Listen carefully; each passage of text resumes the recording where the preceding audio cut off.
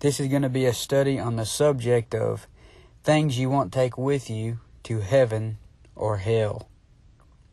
If you'll turn to Luke chapter 16, starting in verse 19, it says, There was a certain rich man which was clothed in purple and fine linen, and fared sumptuously every day. Number one, I'd like to point out that you will not take your material items with you to heaven or hell. The rich man had everything he could ever want. He was clothed in royal apparel, purple, scarlet, and fine linen. He was more worried about the physical things in this world than the eternal things. He didn't care about God or salvation. And James chapter 2, verses 2 and 3 says, For if there come into your assembly a man with a gold ring and goodly apparel, and there come in also a poor man in vile raiment, and ye have respect to him that weareth the gay clothing, and say unto him, Sit thou here in a good place, and say to the poor, Stand thou there, sit here under my footstool. This is talking about people who give respect to people who have nice clothes and then treating people like dirt who don't have nice clothes. And there are millions of upper class, snobby rich people who are lost and on their way to hell, and they will look down on somebody because of their clothes and their material items or their vile raiment.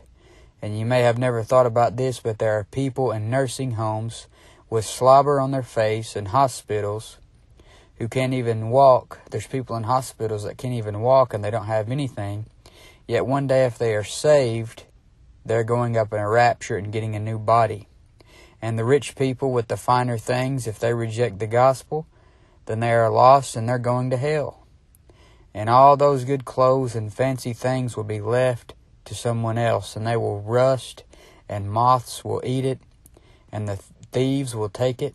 And then, if it is still here, it will get burned up when Jesus Christ comes back in flaming fire.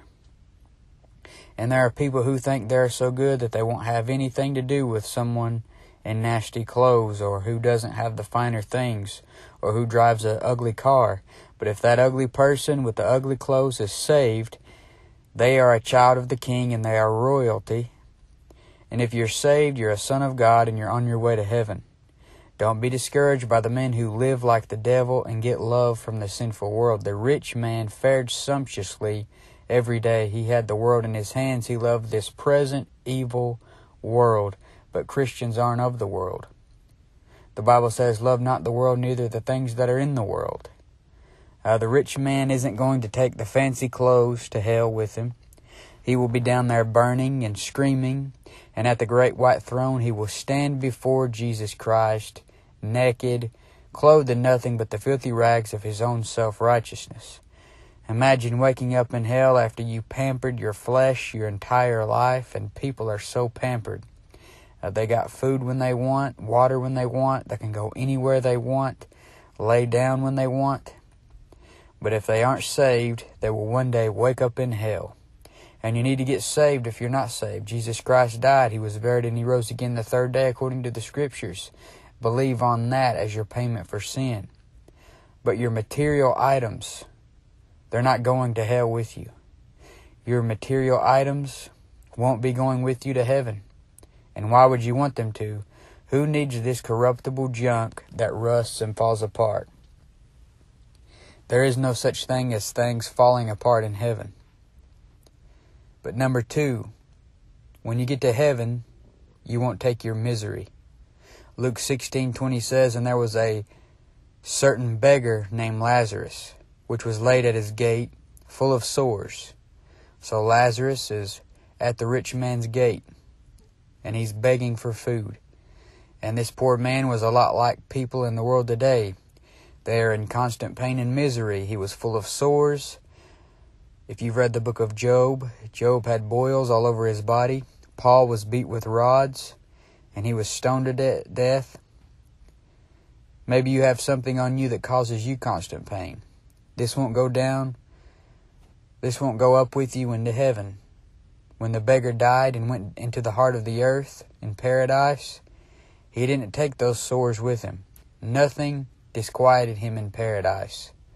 In 1 Samuel 28:15, Samuel said to Saul, "Why hast thou disquieted me to bring me up?"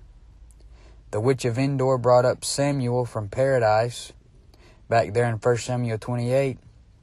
And when Samuel came up from paradise, he said, Why hast thou disquieted me? And this shows he was at peace and nothing was bothering him in paradise. How much the more now? When to be absent from the body is to be present with the Lord. When we die today as saints, we don't go to the heart of the earth, we go up to the third heaven because the blood of Jesus Christ has been applied. Revelation 21 4 says, No more death, neither sorrow nor crying, neither shall there be any more pain. Somebody said, Well, if heaven is so good and we are in misery here, then we should just kill ourselves. He said that is why teenagers are committing suicide because they think heaven is so good. But that's not Bible. The Bible says if we suffer with him, we shall also reign with him.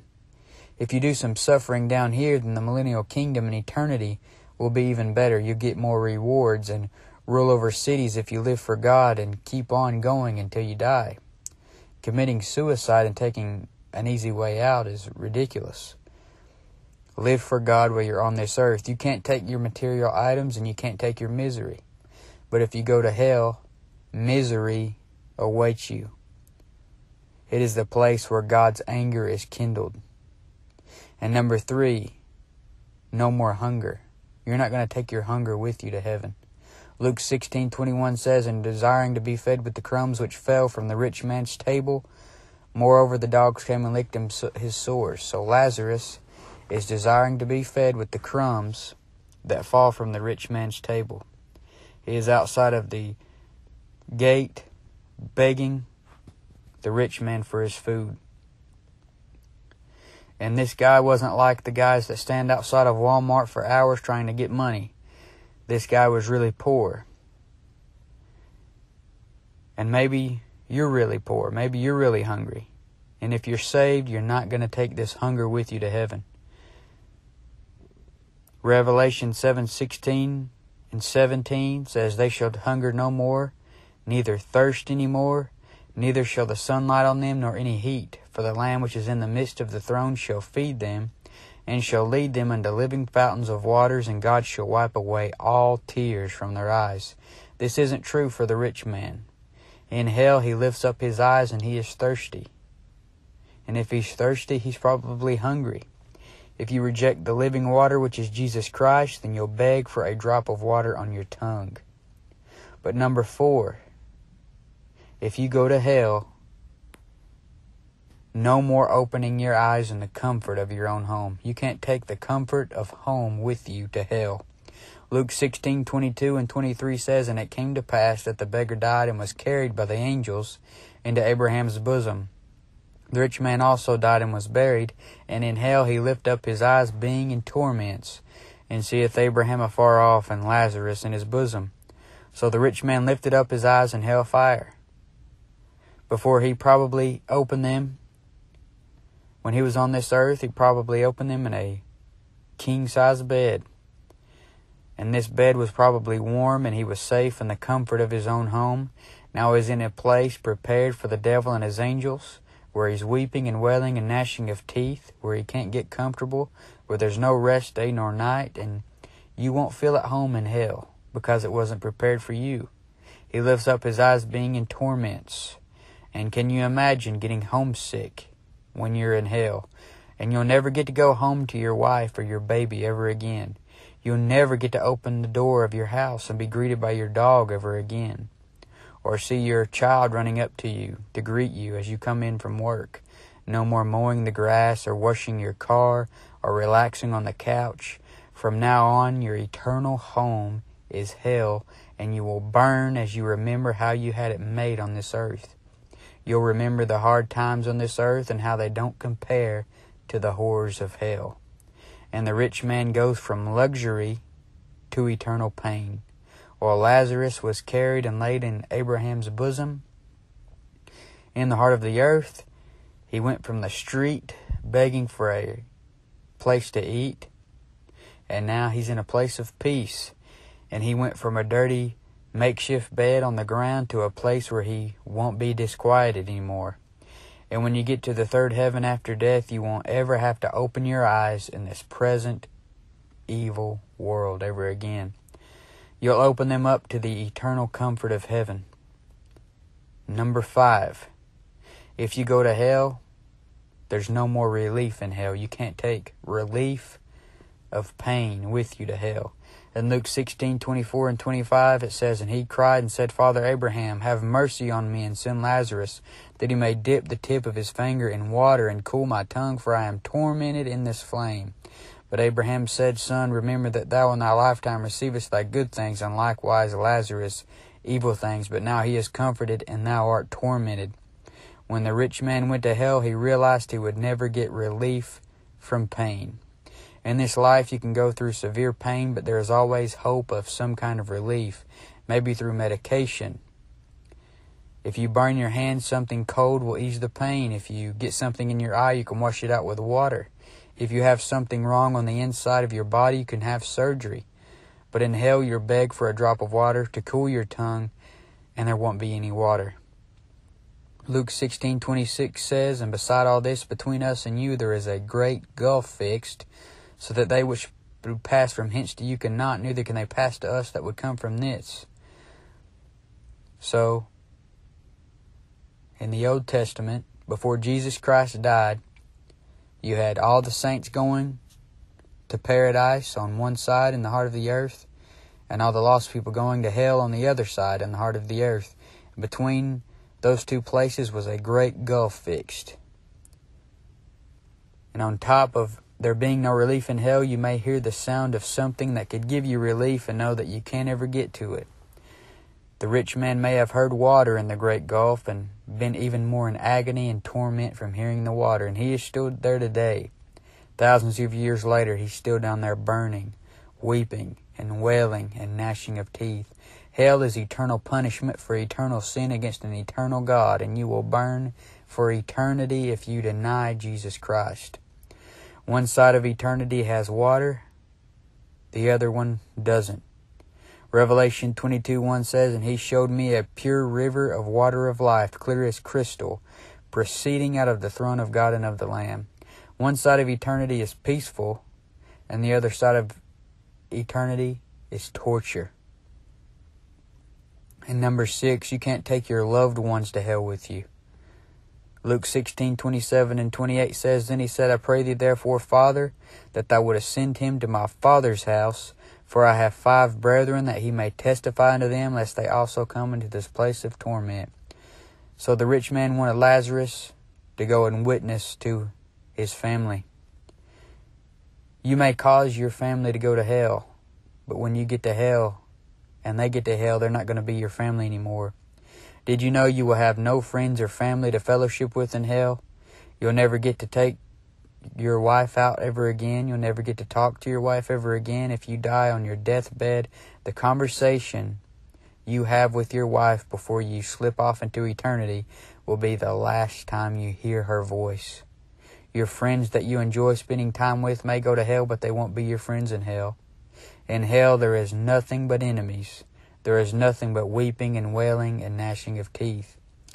If you're saved and go to heaven, when you die, then you will get to see all your saved the loved ones that have passed on before you and the ones who pass on after you.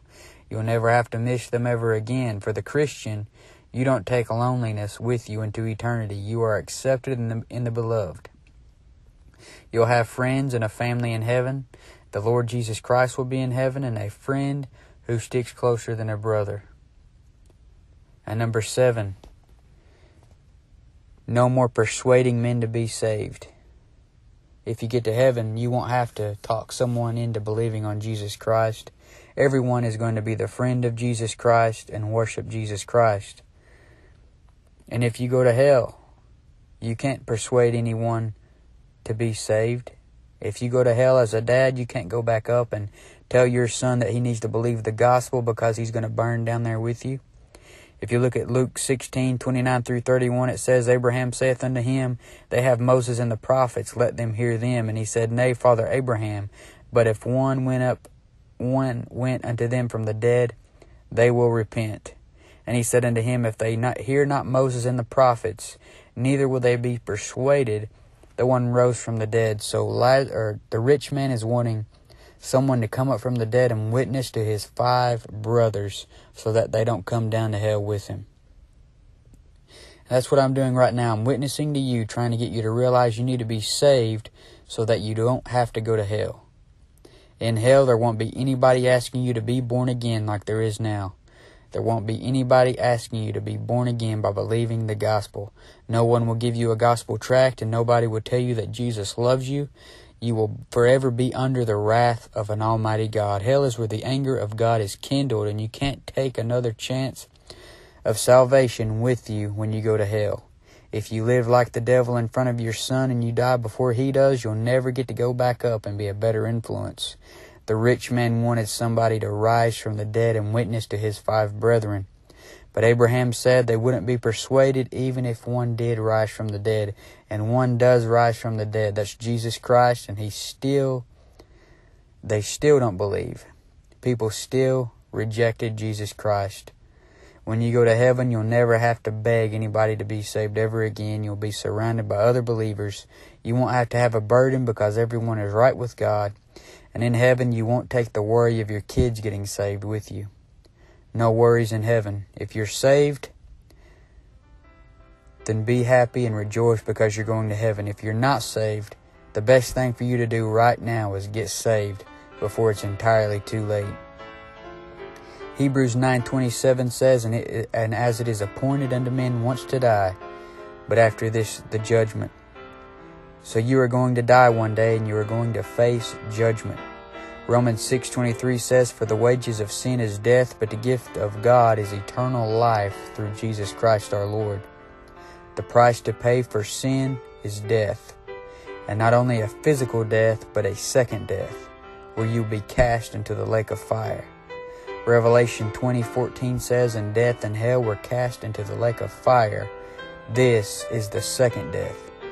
And you deserve this because you have sinned against an almighty God. But there is good news.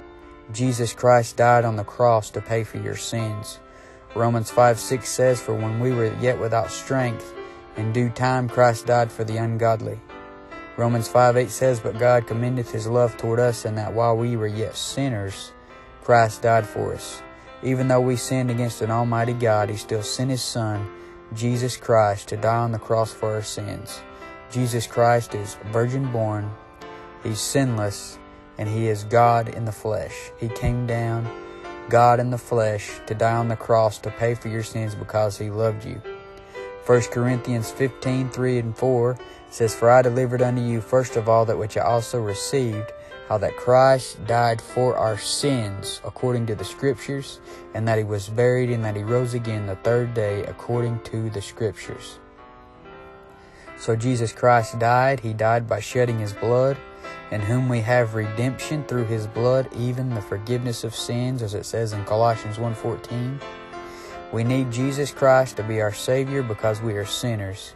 And if you would like to believe on him as your Savior, then do it now before it's too late. All it takes to be saved is for you to come to Jesus Christ as the guilty sinner that you are and believe on him. Acts 16:31 says, "Believe on the Lord Jesus Christ and thou shalt be saved." Romans 10:13 says, "For whosoever shall call on the name of the Lord shall be saved." So don't put off salvation any longer.